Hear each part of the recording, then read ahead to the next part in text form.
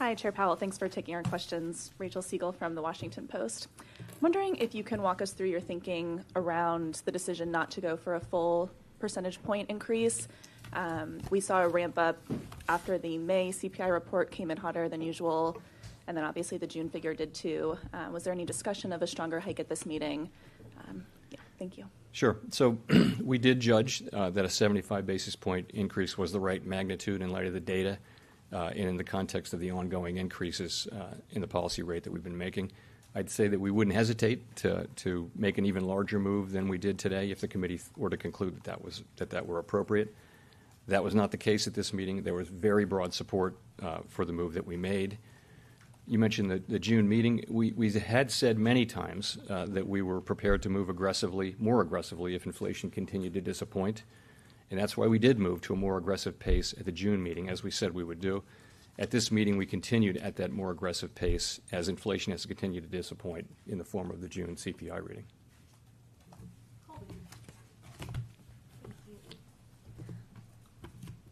Thank you so much for taking uh, our questions. Colby Smith uh, with the Financial Times. As the committee considers the policy path forward, how will it weigh the expected decline in headline inflation, which might come as a result of the drop in commodity prices, against the fact that we are likely to see some persistence in uh, core readings in particular? And given that potential tension and, and signs of you know any kind of uh, activity uh, weakening here, how has the committee's thinking changed on how far into restrictive territory rates might need to go? So, um, I guess I'd start by saying we've we've been saying we would move expeditiously to get to the range of neutral, and I think we've done that now. We're we're at 225 to two and a half, and that's right in the range of what we think is neutral. So the question is, how are we thinking about uh, the path forward? Um, so one thing that hasn't changed is that uh, it won't change is that our focus is continuing to is going to continue to be on using our tools to bring demand back into better ba- balance with supply in order to bring inflation back down. That'll continue to be our overarching focus. We also said that we expect ongoing rate, rate hikes will be appropriate and that we'll make decisions meeting by meeting. So, what are we going to be looking at? Um, you know, we'll be looking at the incoming data, as I mentioned, and that, that'll start with economic activity. Are we seeing the slowdown that we, the slowdown in economic activity uh, that we think we need? and, and there, there's some evidence that we are at this time. Of course, we'll be looking at labor market conditions, and we'll be asking whether we see uh, the alignment between supply and demand getting better, getting closer. Of course, we'll be looking closely at inflation. You mentioned headline and core.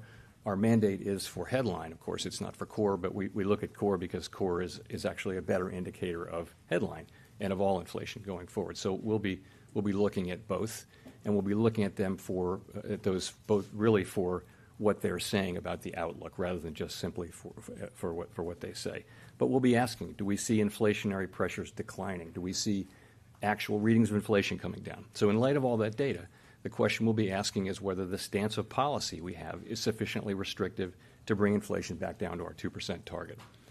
And it's also worth noting that these rate hikes have been large and they've come, they've come quickly, and uh, it's likely that their full effect has not been felt by the economy. So there's probably some additional tightening, significant additional tightening in the in the pipeline.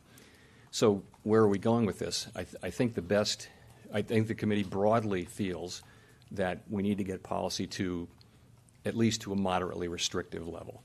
And maybe the best data point for that would be what we wrote down in our SEP at the, at the June meeting. So I think the median uh, for the end of this year, the median w- would have been between uh, three and a quarter and three and a half. And then people wrote down uh, 50 basis points higher than that for 2023. So that's even though that's now uh, six weeks old, I guess that's that's the most recent reading. Of course, we'll update that reading at the at the September meeting in eight weeks.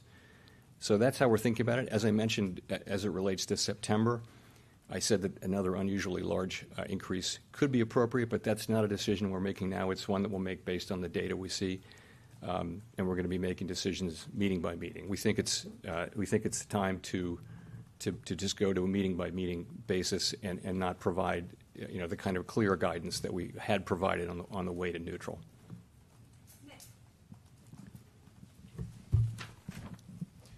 Nick Timiraos of the Wall Street Journal.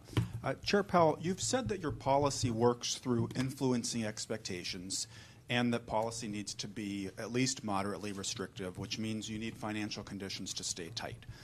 Futures market uh, pricing currently implies you will raise rates this year along the lines of your June SEP, but then lower them uh, a few months later next year. Are these expectations consistent with the need to keep financial conditions tight in order to moderate purchasing power and bring inflation back to 2%? So I'm, I'm going to start by pointing out that it's very hard to say with any confidence in normal times, in normal times, what the economy is going to be doing in six or 12 months. And to try to predict where, what the appropriate monetary policy would response, response would be, I mean, of course, we do that in the SEP, but nonetheless, you've got to take any estimates of what rates will be next year uh, with a grain of salt because there's so much uncertainty. These are not normal times. There's significantly more uncertainty now about the path ahead than I think there ordinarily is, and ordinarily it's quite high. So again, I, I would the best data, the only data point I have for you really is the June SEP, which I think is, just the most recent thing that the committee's done. Since then, inflation has come in higher, economic activity has come in uh, weaker than expected. Uh, but at the same time, I would say that's probably the best estimate of where the committee's thinking is still, which is that uh, we would we would get to a moderate, moderately restrictive level by the end of this year, by which I mean somewhere between three and three and a half percent, and that the committee sees further rate increases uh, in um, in 2023. As I mentioned, we'll update that, of course, at the September uh, meeting, but um, you know that's really the best I can do on that. You said inflation had been a little bit hotter uh, than anticipated. Has your view of the terminal rate changed since June?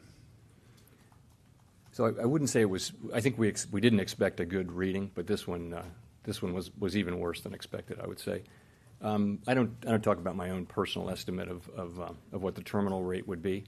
Um, I do I will write down that in. Uh, it, it's going to evolve. It's obviously it, it, has evolved over the course. I think for for all participants, it has evolved over the course of the year as we learn how persistent inflation is going to be. And by the time of the September meeting, we will have seen two more CPI readings and two more labor market readings and significant amount of, of uh, readings about economic activity and, and perhaps geopolitical developments. Who knows? It'll be, it'll be a lot. It's, it's an eight week intermeeting period, so I think we'll see quite a lot of data and we'll make our decision at that meeting based on that data. Jeanna. Hi, Jarrell. Thanks for taking our questions. Jeanna Smialek with New York Times. Um, you kind of alluded to this earlier, but I wonder in the event that you see several months of very weak headline inflation numbers because oil prices are coming down so much, but core inflation continues to be strong or even picks up, I wonder how you would think about that. So it's, it's hard to deal with uh, hypotheticals, but, but I, I just would say this. We, you know, we would look at both and we would we'd be asking ourselves, are we confident that inflation is on a path down to two percent? That's really the question, and we'll be making, you know, our policy stance will be set at a level, ultimately, at which we are confident that inflation is going to be moving down to two percent.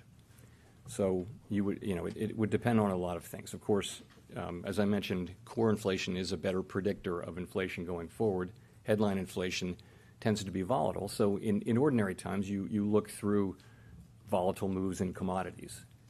Um, the, the problem with the current situation is that, that if you have a sustained period of supply shocks, those can actually start to undermine um, uh, or, to work on uh, de-anchoring inflation expectations. The public doesn't distinguish between core and headline inflation in their thinking. So it's something we have to take into consideration in our policymaking, even though our tools don't don't really work on uh, on the, uh, some aspects of this, which are the supply side issues. Steve Liesman, CNBC. Thanks for taking my question, Mr. Chairman. Uh, earlier this week, the president said we are not going to be in a recession. So I have two questions off of that. Do you share the president's conf- confidence in not being in a recession? And second, how would or would not a recession change policy? Is it a bright line, sir, where, where contraction of the economy would be a turning point in policy, or is there some amount of contraction of the economy the committee would be willing to abide uh, in its uh, effort to reduce inflation? So as I, as I mentioned, um, we, we think it's necessary to have uh, growth slow down. And sl- growth, growth is going to be slowing down this year be- for a couple of reasons. One of which is that you're coming off of the very high growth of the reopening year of 2021. Um, You're also uh, seeing tighter monetary policy, and you should see some slowing. We actually think we need a period of growth below potential in order to create some slack so that, so that the supply side can catch up. We also think that there will be, in all likelihood, some softening in labor market conditions. And, and those are, those are things that we expect uh, that, and we think that they're probably necessary if we were to have, uh, to get inflation, if we were to be able to get inflation back down on a path to 2%, ultimately get there. The question was whether uh, you see a recession coming and how that might or might not change policy. Thanks. So we're going to be, again, we're going to be focused on getting inflation back down. And uh, we, as I've said on other occasions, um, price stability is really the bedrock of the economy. And nothing works in the economy without price stability. We can't have a strong labor market without price stability for an extended period of time. We all want to get back to the kind of labor market we had uh, before the pandemic, where uh, differences between, you know, racial and, and uh, gender differences and that kind of thing were at, were at historic minimums, where participation was high, where inflation was low. We want to get back to that, but that's not happening. That's not going to happen without, without restoring price stability. So that's something we see as, as, as something that we simply must do. And we think that in the, we don't see it as a, trade-off with, uh, the employment mandate. We see it as a way to facilitate the sustained achievement of the employment mandate in the longer term. Uh, Howard Schneider with Reuters. Um, Particularly in regard to expectations, uh, it's been said the last few months that the risks of doing too little uh, outweighed uh, the list- the risks of doing too much. Does that remain the bias? So we're, we're, we're trying to do just the right amount, right? We're we're not, we're not trying to have a recession, and we don't think we have to. We think that there's a path for us to be able to bring inflation down while sustaining a strong labor market. As I mentioned, along with, in all likelihood, some, some softening in labor market conditions. So that is, that's what we're trying to achieve, and we, continue to think that there's a path to that. We know that the path has, has clearly narrowed, really based on events that are outside of our control, and it may narrow further.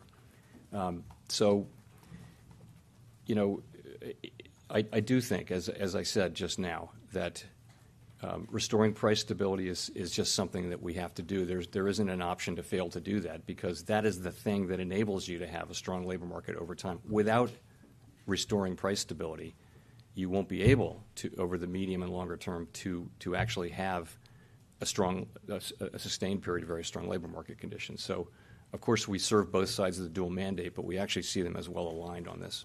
But as a, as a follow-on to that, it- given the uncertainty and the sort of paradoxical flow of data you've been getting, if you're going to make a mistake, would you rather mis- make the mistake on doing too much, raising too much, than raising too little? Yeah, We're trying not to make a mistake. We, let me put it this way. We, we do see that there are two-sided risks. There would be the risk of doing too much and, and uh, you know, uh, imposing more of a downturn on the economy than, than was necessary. But the risk, the risk of doing too little and leaving the economy with this entrenched inflation, it only raises the cost. If you fail to deal with it in the near term, it only raises the cost of, of uh, dealing with it later. To the extent people start to see it as just part of their economic lives, they start to factor high inflation into their decisions. When that, on a sustained basis, when that starts to really happen, and we don't think that's happened yet, but when that starts to happen, it just gets that much harder, and the pain will be that much greater. So I, I I really do think that it's important that we that we address this now, and get it done.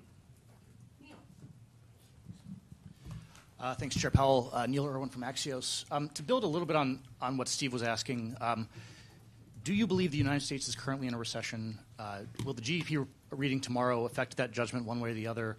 And has your assessment of the risk of recession changed any in recent weeks? So, I don't, I do not think the U.S. is currently in a recession. Um, and the reason is there are just too many areas of the economy that are, that are performing, uh, you know, too well. And, and of course, I would point to the labor market in, in particular. Uh, as I mentioned, it's true that growth is slowing, And uh, for reasons that we understand, really, the growth was extraordinarily high last year, 5.5%. We would have expected growth to slow. There's also more slowing going on now. But if you look at the labor market, you've got growth, I think payroll jobs averaging 450,000 per month. That's a remarkably strong level for, this state of, of affairs. The unemployment rate at near a 50-year low at 3.6%. All of the wage uh, measures that we track are running very strong. So this is a very strong labor market, and it's just not consistent with, you know, 2.7 million people hired in the first half of the year. Uh, it doesn't make sense that the economy would be in recession with, with this kind of thing happening. So uh, I don't think the, the U.S. economy is in recession right now. Ah, haven't seen it, and, and we'll just have to see what it says. I, I don't. Uh, I mean, I would say generally the um, the GDP numbers do have a tendency to be revised pretty significantly. Uh, it's just it's just uh, it's very hard it's very hard to accumulate U.S. GDP. It's a large economy, and a lot of a lot of work and judgment goes into that. But you tend to take first GDP reports, I think, with uh, with a grain of salt. But of course, it's something we'll be looking at. Victoria. Hi, Chair Powell. Victoria Guida with Politico. Um, I wanted to ask about the new conflict of interest rules that you all rolled out. Um, some senators have written asking for those rules to have more teeth and to have sort of more transparency about Fed's finan- the Fed officials' financial activity. Um, I was wondering if you could speak to that and whether you intend on uh, you know, toughening those rules in any way. So those are those are the toughest rules in place, you know, at, at any comparable institution that I'm aware of we think, you know, we, we thought, that, thought about this carefully and we put them in place and we're building the infrastructure so that, so that, uh, you know, the enforcement will be tight, that actually you won't be able to make trades unless they're pre-cleared. And, um, and, the, and the, amount, the amount of trades you make will be, they'll, they'll have to be 45 days or more before any FOMC meeting. It's just, I think we've really, um, you know, created a very strong and robust set of rules that will you know, support public trust in the institution. And, and uh, again, we're just, we're just now, the system is just now up and running, and I'm, I'm proud of what we did.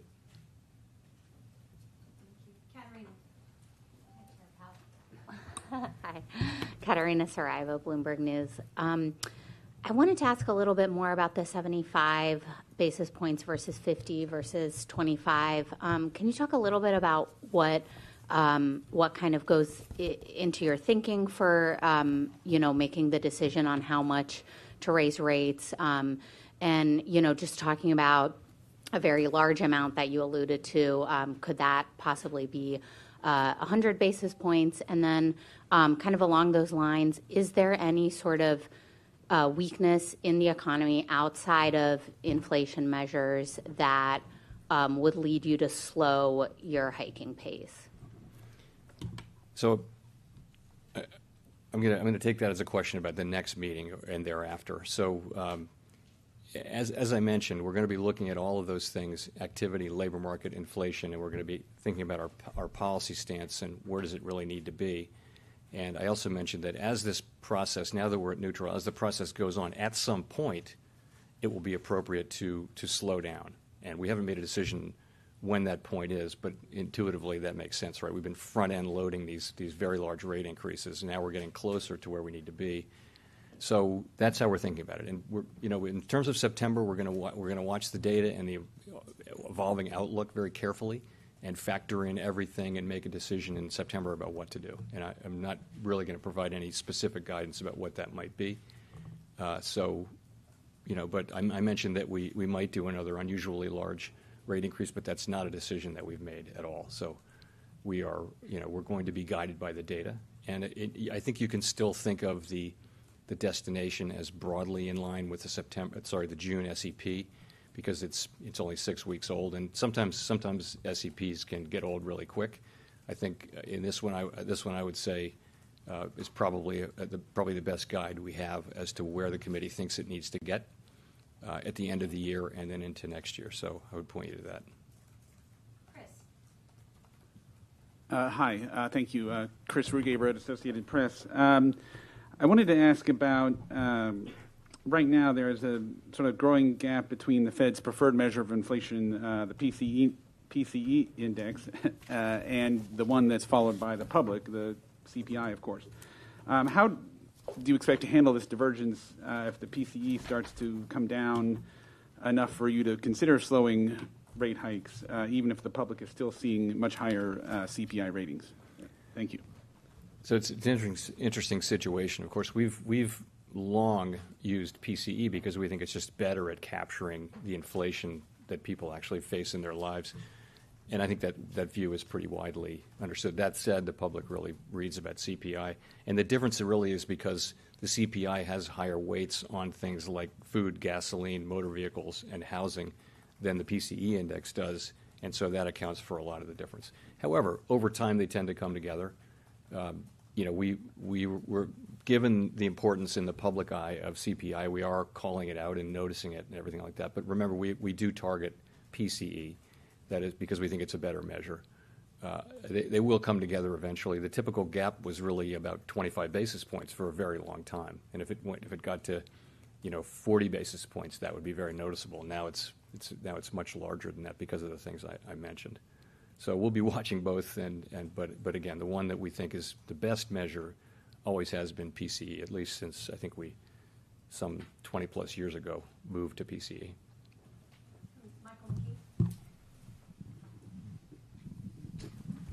I'd like to weave a, a, couple of things together, Mr. Chairman. Michael McKee from Bloomberg TV and Radio. Uh, you said that the destination pretty much remains the same uh, in terms of your end of the year target, but where are you in the journey? Uh, we've now seeing the federal stimulus programs end. You mentioned consumer spending, business investment have slowed. Are they moving at a pace you would expect, or is demand still greater? Uh, than supply, too much greater than supply, that you need to do significantly more. And, and I ask because uh, there are lags uh, in the impact of monetary policy, as you mentioned.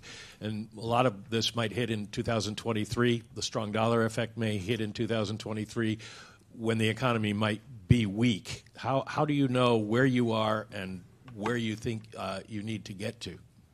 Well, just talking about demand for a second. As I mentioned um, in my remarks, uh, you, you do, I think you pretty clearly do see a slowing now in demand in the second quarter. Consumer spending, business fixed investment, housing, places like that. I think you know people widely looked at the at the first quarter numbers and thought they didn't make sense and might have been misleading in terms of the overall uh, direction of the economy. Not not true of the second quarter, but at the same time you have this labor market. So there are plenty of experiences where GDP has been reported as weak and the labor market is strong and the economy has gone right through that and been fine. So that, that's happened many times. And it, it, used to happen, if you remember, in the first quarter of every year for several years in a row, GDP was negative and the labor market was moving along just fine and it turned out to just be measurement error. It was called residual seasonality. We don't know the situation. The truth is, though, we, we think that demand is moderating. We do.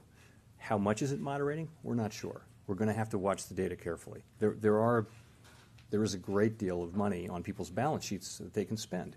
The unemployment rate is very low. The labor market's very hot. There are many, many job openings. Wages are high. So it's the kind of thing where you, where you, you think that the, that the economy should actually be, be doing pretty well in the second half of the year. But we'll have to see. We don't know that because you do see a marked slowing in the second quarter that does that is fairly broad. So we'll, we'll be watching that. We'll be watching that. Of course, as I mentioned, we do want to see demand running below potential for a sustained period to create slack and, and, and give inflation a chance to come down.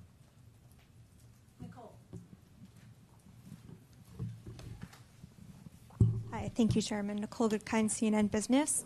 Um, when does the committee expect to see a meaningful slowdown in the labor market, and how much weakness will it accept uh, with regard to slower job growth and higher unemployment uh, before it pauses or begins to think about cutting rates?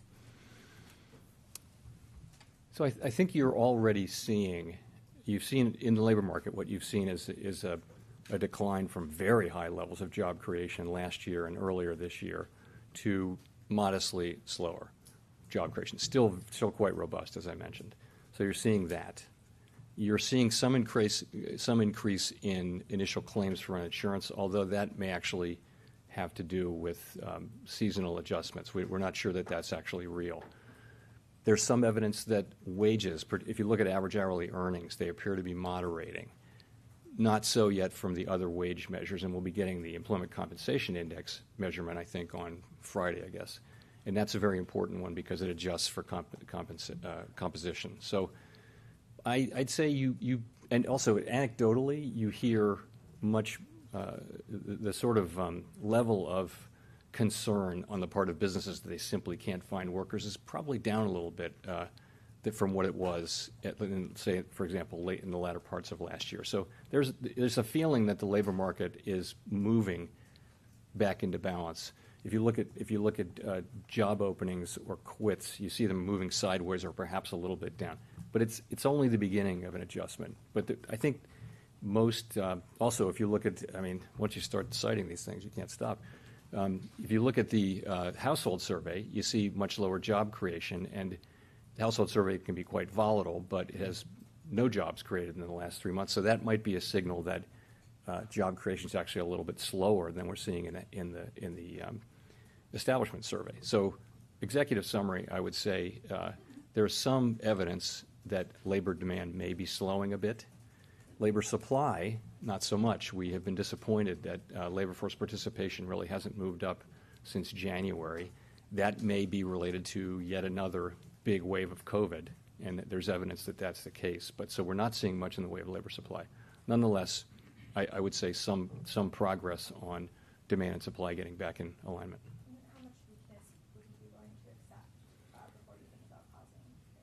So I, th- I think we're looking, we're going to be looking at, at, uh, at inflation as well. We, we, you know, as I mentioned, we, we need to see inflation coming down. We need to be confident that inflation is going to get back down to mandate consistent levels. That's not something we can uh, avoid doing. That really needs to happen.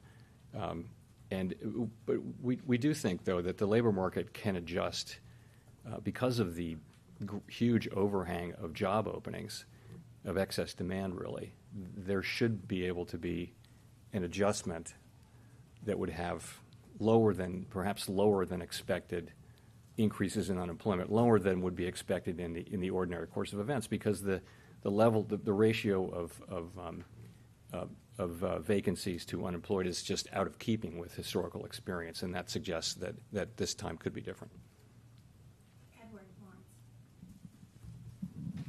Thanks, Mr. Chairman. Uh, Edward Lawrence from Fox Business. So you said the path may be narrowed uh, to avoiding recession. So how, how close are we to a recession? And then how do forecasts of possible recessions from banks and economists, how does that make a soft landing you've talked about more difficult? So as, as I mentioned, um, it doesn't seem that the U.S. economy is in recession right now. And I, I think you, you, do see weakening, um, some slowdown, let's put it that way, in growth, and you see it across the, some of the categories that I mentioned, but there's also just the very strong data coming out of the labor market still.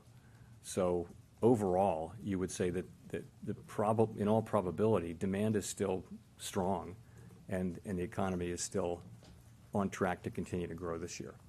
But the, the slowdown in the second quarter is is notable, and we're you know we're going to be we're going to be watching that carefully. Sorry, what was a lot? Of, Forecasts. Um, you know, how did bank forecast the possible recessions that comes? Does that affect the soft landing? Well, um, you know, we've we've said since the beginning, I think that that having a soft landing is what we what we're aiming for. Of course, that has to be our goal. It is our goal, and uh, we'll keep trying to achieve it. Um, I think I do think events. Uh, it, at the beginning, we said it was not going to be easy. It was going to be quite challenging to do that. It's unusual. It's an unusual event. It's not a typical event given where we are. Um, if there is a path to it, and we think there is, it is the one I mentioned, that the labor market actually is has such a, such a large amount of surplus demand that you could see uh, you could see the uh, that demand coming down in a way that didn't translate into a big increase in unemployment as you would expect in the ordinary course because frankly the the imbalance is so much greater and but we don't know that. I mean th- this is a this is a case of first impression. So anyone who is really sure that it's impossible or really sure that it, that it will happen is probably underestimating the level of uncertainty. And, and so I, I, would certainly say it's an uncertain, uncertain thing. Um, nonetheless, it's, it's our goal to achieve it, and we'll keep trying to do that. Thank you, Mr. Chairman. Uh, Jean Yung with Market News. Um, I wanted to ask about the balance sheet reduction program. It's been working for a couple months now and in a different environment than the last time the Fed did it. What are you learning about how it's working and how markets are reacting? Um, and is reaching the minimum level of reserves needed in the system still several years away at the current pace? So we think it's working fine. As you know, we, we um, tapered up into it, and, and um, in September we'll go to a full strength, and the markets seem to have accepted it. Um, by all assessments, the market should be able to absorb this, and we, expect that'll be the case. So um, I would say the plan is broadly on track. Uh, It's a little bit slow to get going because some of these trades don't settle until, uh, for, a bit of time, but it'll be picking up steam. Um, So, and I guess your second question was, um, was getting, yeah, no, the, process of of getting back down to the new equilibrium will take a while, and that time, uh, it's hard to be precise, but, you know, the model would suggest that it could be between two, two and a half years, that kind of thing. And uh, this is a much faster pace than the last time. Balance sheet's much, much bigger than it was. Uh, But we, we looked at this carefully, and we thought that this, this was a sensible pace, and, we have no reason to think it's not.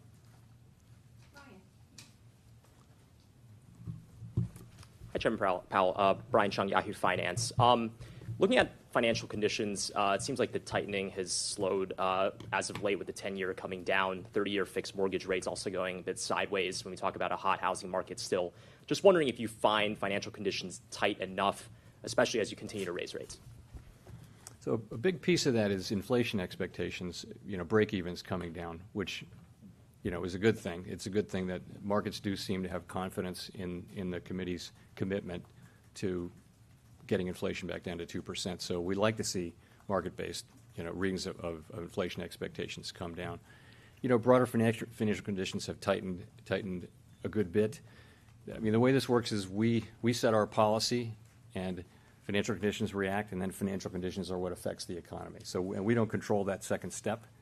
We're just going to do what we think uh, needs to be done. Uh, We, we're going to we're to get our policy rate to a level where we're confident that inflation will be moving back down to two percent. Confident.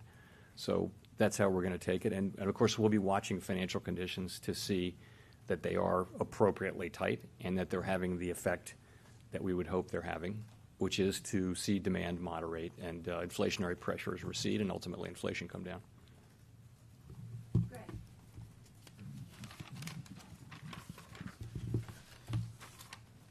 Thank you, Chair Powell. Greg Robb from Market Watch. I wonder if you can go back a little bit in time to before there was this outbreak of inflation, when the committee put in place got forward guidance on tapering asset purchases. I think it was December 2020. There's a recent speech by Fed Governor Waller talking about that and saying that maybe that was too tight, the that kind of condition, and it put you a little bit behind. He, not his words, but maybe you know we're kind of late to react to some of that inflation. So could you talk about that decision, and have you looked at it in hindsight at all? Thank you. So, yeah, we, we said that we wouldn't uh, lift off until we had basically achieved our dual mandate goals.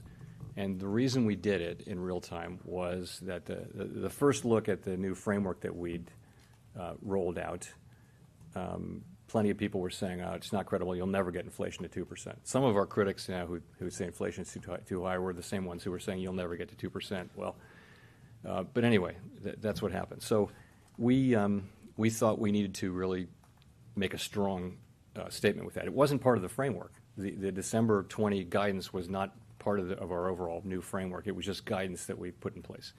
So I would say two things. One, I don't think that that has materially changed the situation. But I, I, have to admit, I, I don't think I would do that again. I don't think I would do that again. We, you know, ultimately the situation evolved in a highly unexpected way for all of us, and um, you know, maybe maybe the learning is is that that leave a little more flexibility than that.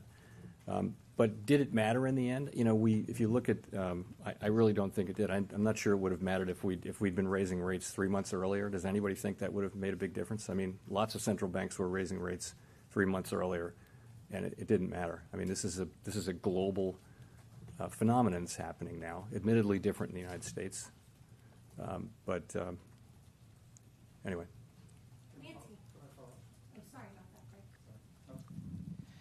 Just a, a lot of people talk about that time, and they talk about a taper tantrum. That I know you haven't talked about it too much, but that you were worried at the time about repeating that taper tantrum that you had experienced as a governor. So was that part of that? Where did that fit into all this? Thank you. So I think we learned there there have been multiple taper tantrums, right? So there was the the famous one in 2013. Uh, there's what happened at the December 18 meeting where, you know, where markets can ignore developments around the balance sheet for years on end and then suddenly react very sharply. So we just had developed a practice of moving predictably and doing it in steps and things like that. It was just like that's how we did it. And so we did it that way this time. We were we were careful to to take steps and, and communicate and all that kind of thing. We, uh, yeah, we were trying to avoid a tantrum because they, they can be quite destructive. They can tighten financial conditions and knock the economy off kilter. And, you know, you, when it happens, you, you have to uh, really, in both 13 and 18, really had consequences for the real economy, you know, uh, two, three, four months later. So we were trying to avoid that. That was part of it. Again, I don't think that's the, the real issue of 2020 and 21 was just trying to understand what was happening with the reopening economy. That that was where the big uncertainty was, and you know our view was that that these supply side issues would get better. That you know that people would go back to work, that labor force participation would come back, everyone would get vaccinated, schools would open, um, kids would be in school, and labor force participation would would jump back up. You know that's what we were. That was pretty very broadly thought to be the case you know, these supply side issues would get solved reasonably quickly, and they just haven't. They still haven't. So that's really the, the learning, I think, is around um, how complicated these supply side issues can be. We haven't seen this before in a long, long time, and so that's really what you know what accounts for the pace at which we moved. And you know, we, did when when inflation changed direction really in October. We, we've moved quickly since then. I think people would agree. But before then, inflation was coming down month by month, and you know we kind of thought we we had the story, probably had the story right. But then I think in October you started to see a range of data that, that said no, this is a much stronger economy and and much higher inflation than we've been thinking. And again, we pivoted, and and here we are. Nancy, uh, Nancy Marshall Genzer with Marketplace. Uh, Chair I just want to pin you down a little bit more on the issue of recession. So if we get a negative GDP number tomorrow for the second quarter, would the Fed consider the U.S. in a recession? And just remind us, what is your definition for the start of a recession? So the, the Fed doesn't make a doesn't make a judgment on that. You know, we're we're focused on the dual mandate and using our tools to achieve maximum employment and price stability. We don't we don't say there is now a recession and that kind of thing. So that, that wouldn't be something we do. We, we would look at the at the data tomorrow, and and no doubt we'll look at it very carefully and draw whatever implications we can. I, as I mentioned, though, um, you know, if you think about what what what an inflation, what, what sorry, what a recession really is, it's a broad-based decline across many industries that um, you know that's sustained for more than a couple of months, and there are a bunch of specific tests in it, and, and it just doesn't. This doesn't seem like that now. What we have right now doesn't seem like that, and the, the real reason is that the labor market is just sending such a strong a signal of economic strength that it makes you really question the GDP data. But again, that's not a decision that, that we uh, that we make, and we won't we won't reach a conclusion one way or another on that. Uh, thank you very much, Simon Rabinovitch with uh, The Economist. You've said that some softening in the labor market is needed. Um, within the Fed, there are staff economists who've argued that uh, NAIRU, the non inflationary rate of unemployment, might be as high as 5 to 6% right now, which obviously is a lot higher than the current rate of 3.6. Um, what's your assessment of NAIRU? Uh, is that something that came up in discussion with the committee?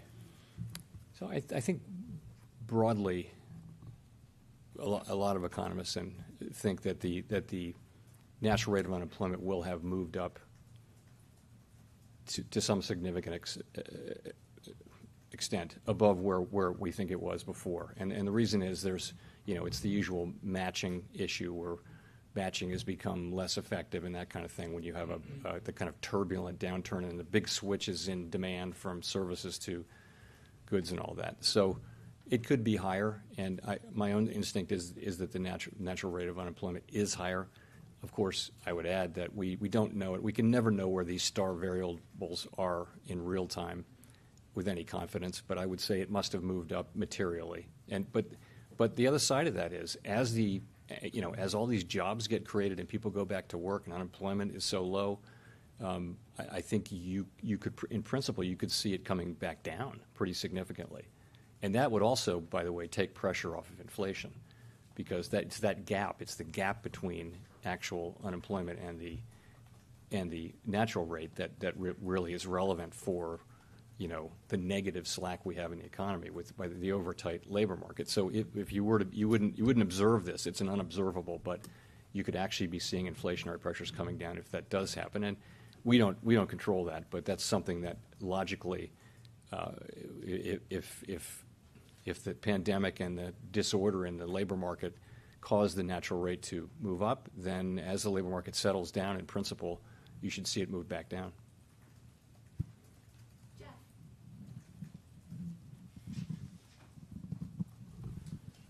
thank you, Chair Powell. Jeff Cox from CNBC.com. Um, just a question about, uh, I hate to keep banging the drum about recession, but most of the polls that we're seeing now from the public, people believe that we're already in a recession or heading for one.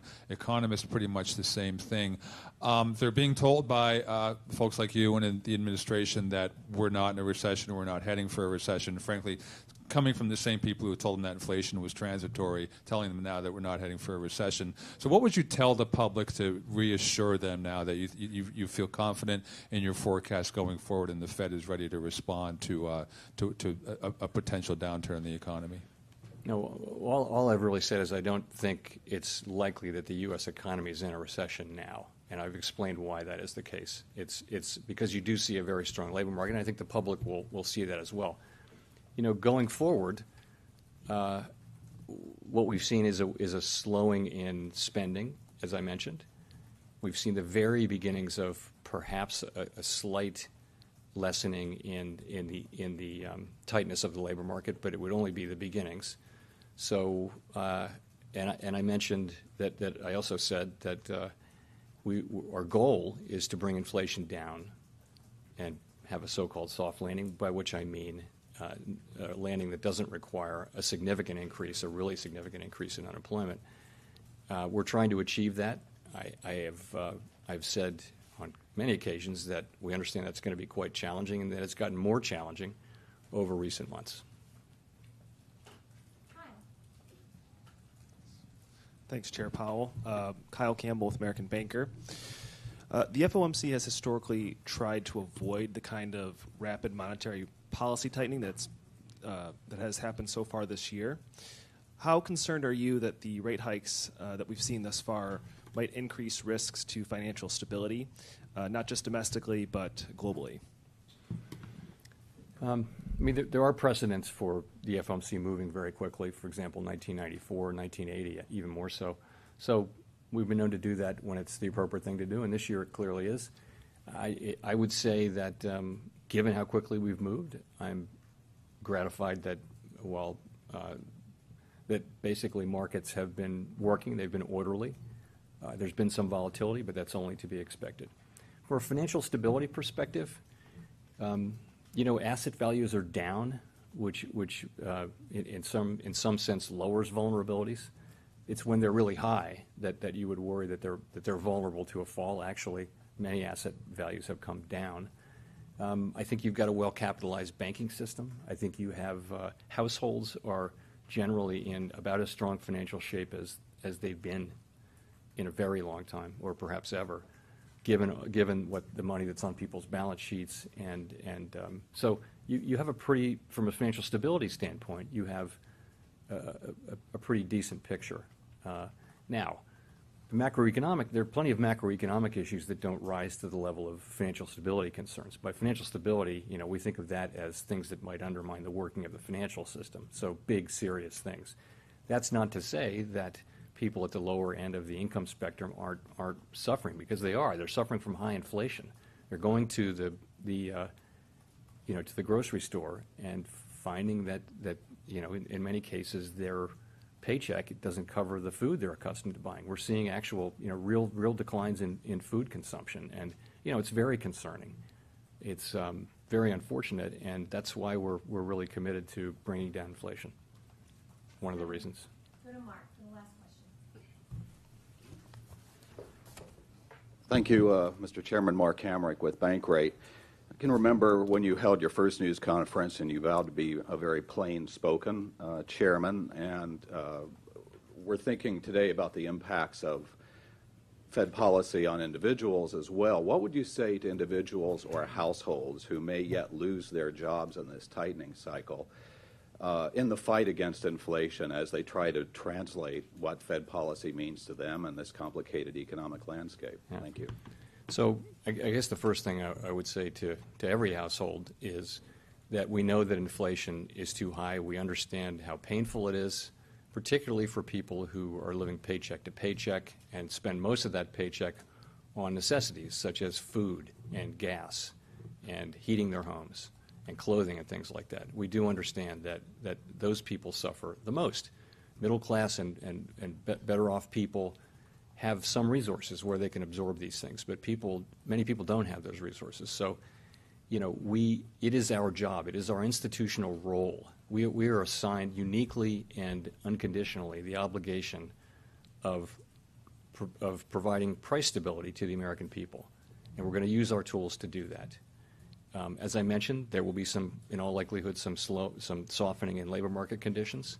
We need growth to slow to below potential growth. Um, we don't, we, we don't want to, uh, you know, we don't want this to be uh, bigger than it needs to be. But, but ultimately, if you think about the medium and longer term, price stability is the thing that, that, that makes the whole economy work. It's what can give us a strong labor market and wages that aren't being eaten up by high inflation. If you talk to people, again, people who are making you know wages, uh, relatively low wages, they're the ones who are suffering the most from inflation. So all, it's all the more reason why we need to move move on this. Thank you very much.